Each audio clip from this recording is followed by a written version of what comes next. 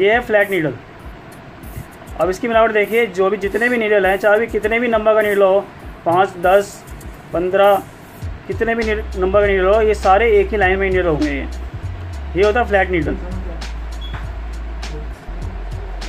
अब ये है मैग्नम नीडल मैग्नम नीडल की बनावट जो है फ्लैट नीडल से अलग होती है। फ्लैट नीडल में क्या होता है, एक रॉ में सारे नीडल होते हैं, इसमें डबल रॉ में सारे नीडल होते हैं।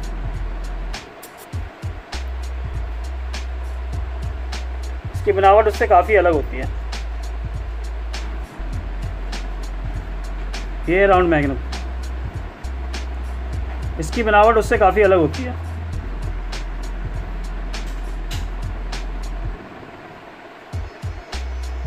आप फ़र्क देखिए। राउंड मैग्नम जो है, हल्का ऊपर से इधर से राउंड है। शेप में ऐसे राउंड है और ये फ्लैट है। ये फ़र्क होता है राउंड मैग, राउंड नीडल में, मैग्नम ने और ये फ्लैट मैग्नम में। बनावट दोनों की एक जैसी होती है, ठीक ऊपर नीचे, लेकिन ये वाला जो है, हल्का सा कर्व होता है और ये इधर वाला जो है फ्लैट होता है। मैग्नम नीडल कार्ट्रेज में भी आती हैं। अब इसमें देखें, ये वाला राउंड है और ये वाला फ्लैट है। लेकिन दोनों ही मैग्नम है। सेम इसी की तरह बनावट होती है। लेकिन ये जो है रोटरी मशीन्स के लिए, पैन मशीन्स के लिए होती हैं और ये स्टैंडर्ड नीडल होती हैं जो कि किसी भी मशीन में, जो रोटरी मशीन और कोयल मशीन उसमें सेट हो जाते हैं। और मैं आपको इनके फ़ंक्शंस दिखाऊँगा, किस तरीके से इसके कहाँ पे किस तरीके से यूज़ किया जाता है और कैसा रिज़ल्ट आता है। बेसिकली जो मैगनम है, तीन तरह के होते हैं। एक होता है मैगनम फ्लैट टाइप का होता है। या इसे हम एम वन भी कह सकते हैं। M one type M one needle में क्या होता है कि जितने भी नीडल्स होती हैं वो पहले फ्लैट का बताता हूँ। सारी नीडल होते हैं एक ही लाइन में होती हैं। हल्के हल्के से गैपिंग पे होती है।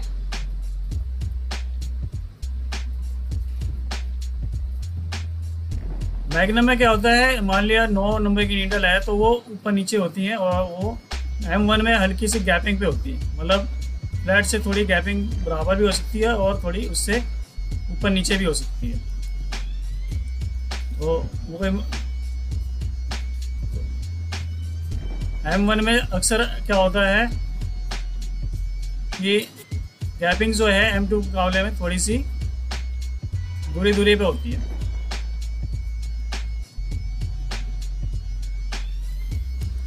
लेकिन अगर M2 में जाते हैं हम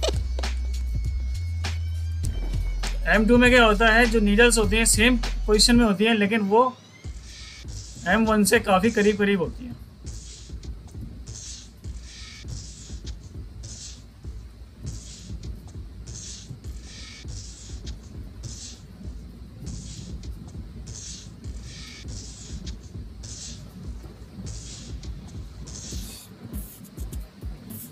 इसकी वजह से क्या होता है कि M1 के मुकाबले में M2 की जो शेडिंग और फिलिंग है, वो बहुत ही अलग आती है, बहुत ही सॉलिड आती है।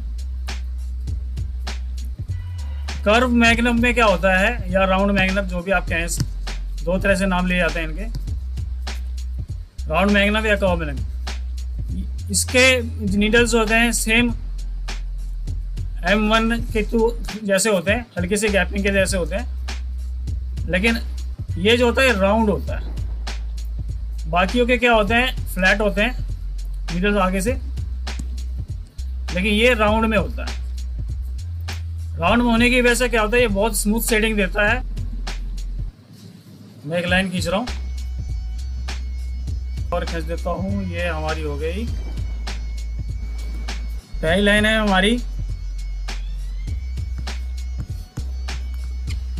एपिडर्मिस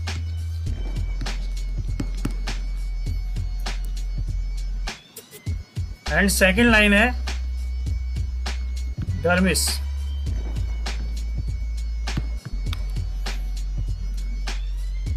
तो अब ये देखिए कि हमारी जो ये लेयर है, अगर हम फ्लैट नीडल पे काम कर रहे हैं एम वन पे काम कर रहे हैं, हमारा एम वन हो या एम टू या फ्लैट हो तो इसमें जब हम चलाएँगे तो हमारी जो स्किन है, वो कुछ इस तरीके से चलेगी।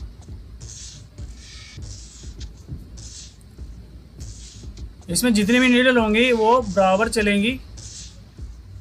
इसकी वजह से जो फीलिंग होगी चारों तरफ़ से, यहाँ से लेके यहाँ तक, वो बिल्कुल डार्क होएगी। लेकिन हम राउंड मैगनम की बात करें तो राउंड मैगनम में जो नीडल चलती है, वो इस तरीके से चलेगी।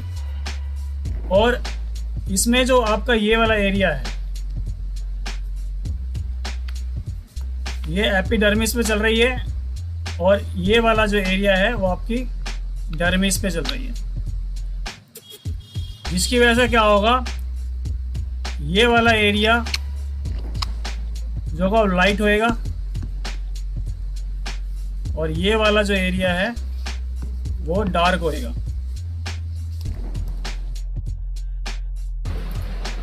अब दोस्तों, मैं आपको ये नीडल का यूज़ करके बताऊँगा कि किस तरीके से हम इसका यूज़ कर सकते हैं और कहाँ कहाँ कैसा रिज़ल्ट आता है।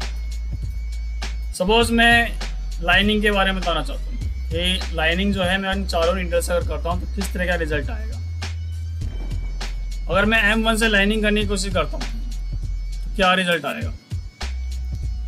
एम वन से लाइनिंग तो हैगी लेकिन क्या वो जो गैपिंग जो है, वो सही ना होने की वजह से वो लाइनिंग में वो मज़ा नहीं आएगा। वो सॉलिड ब्लैक लाइनिंग नहीं आएगी एक बार में। आप कर तो लेंगे, लेकिन आपको थोड़ा उसमें ज़्यादा मेहनत करना पड़ेगा अकॉर्डिंग टू एम टू देखिए एम टू जो है, वो गैपिंग कम होने की वजह से जो है, उसमें लाइनिंग जो है, बहुत अच्छी आएगी। बिल्कुल परफेक्ट लाइनिंग आएगी सॉलिड लाइनिंग आएगी ब्लैक लाइनिंग अब आप सोच रहे होंगे कि, सर, ये मैग्नम नीडल्स से लाइनिंग का यूज़ देखिए मैग्नम नीडल्स का लाइनिंग के लिए प्रॉपर यूज़ नहीं होता। एक्चुअली वो शेडिंग और फीलिंग के लिए होता है। लेकिन अगर कहीं कहीं पे आपको काम करते हुए लाइनिंग की ज़रूरत पड़ी तो आप इसका यूज़ कर सकते हैं। वो कैसे यूज़ किया जाता है? वो आप जब आप काम करने लगेंगे तो पता चलेगा। हल्का सा उसको टेपर करके जो है नीडल को हम मशीन को टेपर करके लाइनिंग खींचते हैं। एक कॉर्नर्स का यूज़ करते हैं। हाँ अगर आपको स्ट्रेट लाइन खींचनी है तो आप बिल्कुल सीधा नीडल चलाएँगे। सारे नीडल्स बिल्कुल सीधे चलेंगे तो परफेक्ट सीधी लाइनिंग आएगी। अगर हम राउंड मैग्नम से करते हैं। राउंड मैग्नम जो होता है, वो प्रॉपर जो है वो लाइनिंग के लिए बिल्कुल नहीं होता, क्योंकि लाइन का यूज़ करते हैं तो वो आपका जो जो है मैग्नम वन की तरह ही आपका रिज़ल्ट आएगा। थोड़ा सा उससे अच्छा रिज़ल्ट आ सकता है, लेकिन वो पक्का नहीं आएगा, क्योंकि उसमें क्या होगा, जो बीच वाले नीडल है, सिर्फ़ वही काम करेंगे साइड वाले नीडल काम नहीं करेंगे। तो मैं इसको बिल्कुल भी परफेक्ट नहीं मानता लाइनिंग के लिए। बिल्कुल बेकार मानता हूँ लाइनिंग के लिए। अगर आप फ्लैट पे आते हो तो फ्लैट भी जो है आपका वो एम टू की तरह रिज़ल्ट देगा, बिल्कुल सॉलिड वाला रिज़ल्ट देगा। लाइनिंग के लिए अगर आपको कहीं कहीं यूज़ करना पड़ता है तो आपका फ्लैट जो है वो बेटर है और एम टू बेटर है। अगर आप काम करते वक्त लाइनिंग करते हैं तो। अब आते हैं हम फिलिंग पे। अगर एम एम नीडल का हम फिलिंग का यूज़ करते हैं तो क्या रिज़ल्ट आता है?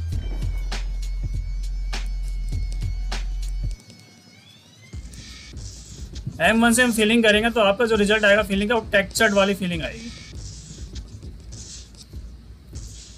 क्योंकि M1 की गैपिंग जो है, वो M2 से ज़्यादा होती है तो उसमें जो फीलिंग आएगी, वो टेक्चर्ड वाली फीलिंग आएगी।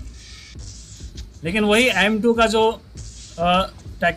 गैपिंग होता है नीडल जो होता है, बहुत कम, बिल्कुल पास पास होता है, जिसकी वजह से उसकी फीलिंग आती है सॉलिड वाली फीलिंग आती है। बिल्कुल सॉलिड फीलिंग आएगी। इसके मुकाबले में M1 के मुकाबले में M2 की जो फीलिंग है, वो काफ़ी सॉलिड होएगी, काफ़ी अच्छी होएगी, क्योंकि नीडल होता है, काफ़ी पास पास वही राउंड मैगनप से करते हैं। तो राउंड मैगनप की भी फीलिंग जो होती है, काफ़ी सॉलिड आती है, लेकिन उसमें क्या होता है?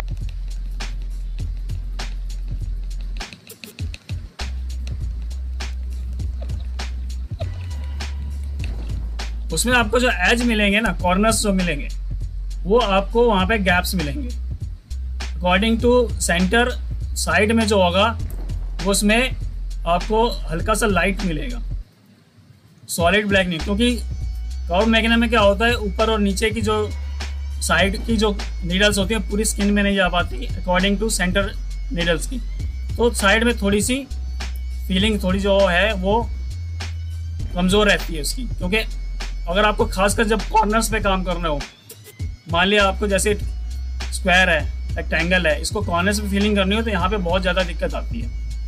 इस मामले में आप M2 का यूज़ कर सकते हैं। M2 कॉर्नर्स में अच्छी फीलिंग कर सकता है M1 अच्छी फीलिंग करता है M2 दोनों अच्छे करते हैं। इसी मामले में फ्लैट जो है फ्लैट भी बहुत अच्छी फीलिंग करता है। फ्लैट भी बिल्कुल सॉलिड फीलिंग करता है। तो फीलिंग के मामले में जो है, वो ये ज़्यादा ऑप्शन अच्छा रहेगा फ्लैट और M2 लेकिन आपको सॉफ्ट फीलिंग करनी है। सॉफ्ट फीलिंग के लिए आपका राउंड मैंगलम बहुत अच्छा है।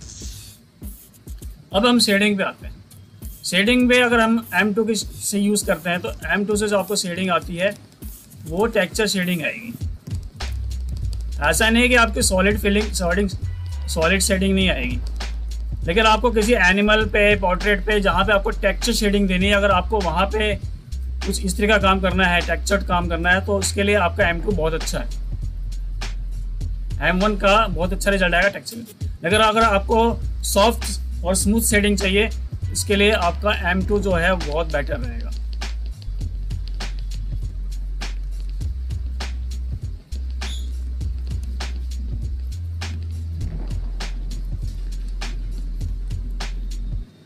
एम टू में आपकी सॉफ्ट शेडिंग आएगी।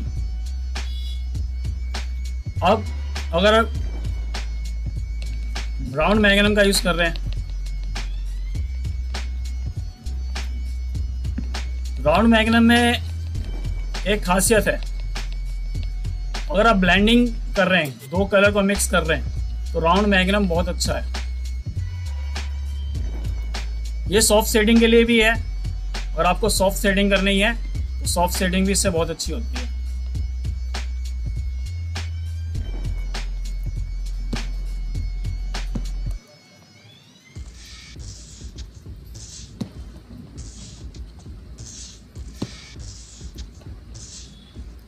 भाई, इसमें क्या होता है एज जो होते हैं, वो आपके काफ़ी सॉफ्ट आते हैं। इससे क्या है शेडिंग जो होते हैं, बहुत स्मूथ आती है, बहुत ही सॉफ्ट आती है।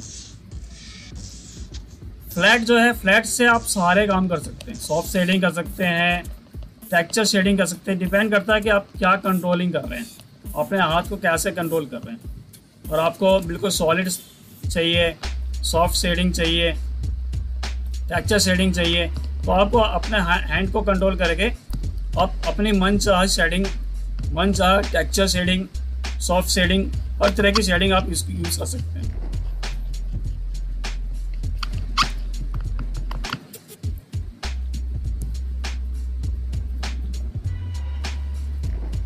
तो आपने देखा किस तरीके से मैंने आपको सभी तरह के अलग अलग लाइनिंग फीलिंग और शेडिंग का इफ़ेक्ट दिखाया कि किस तरीके से इस तरह के इफ़ेक्ट आते हैं। ऐसा नहीं है कि आप इनका इसी तरह का यूज़ कर सकते हैं। आप अपने हाथ का कंट्रोल करके अपने इस मन चाह आउटपुट ले सकते हैं। मैंने आपको एक वीडियो में बता रखा है कि किस तरीके से हम हैंड को और स्पीड को और मशीन को तीनों को जब मैच करते हैं तो क्या रिज़ल्ट आता है? किस तरीके से? अगर आपने वीडियो नहीं देखा तो मैं लिंक दे दूँगा, आप लिंक में देख लीजिएगा। तो उस हिसाब से अगर देखा जाए तो हमें टेक्चर के लिए अगर हमें इफ़ेक्ट चाहिए तो टेक्चर इफ़ेक्ट के लिए हमारा जो है ये बेटर ऑप्शन है। एम वन लेकिन अगर स्मूथ सेटिंग चाहिए या सॉफ्ट सेटिंग चाहिए तो उसके लिए M2 बहुत अच्छा है। इवन ये दोनों काम आपके इसी से हो जाएँगे। फ्लैट नीडल को मैं ऑलराउंडर मानता हूँ। क्योंकि ये कॉर्नर्स में भी अच्छे काम करता है, बीच में भी अच्छे काम करता है, हर जगह सही काम करता है। कॉर्नर्स में ये दोनों भी अच्छे काम करते हैं लेकिन फ्लैट नीडल को आपको अपने हिसाब से कंट्रोल करके बहुत अच्छा रिज़ल्ट पा सकते हैं। ये सॉलिड फीलिंग के लिए बहुत अच्छा है। लेकिन अच्छी शेडिंग चाहिए स्मूथ शेडिंग चाहिए तो उसके लिए आपके पास ये तीन ऑप्शन है। Magnum one magnum two round magnum ये तीनों मैगनम है। बहुत अच्छी शेडिंग और फीलिंग करता है। बस डिपेंड करता है कि आप किस तरीके से अपने हाथ को कंट्रोल करते हैं।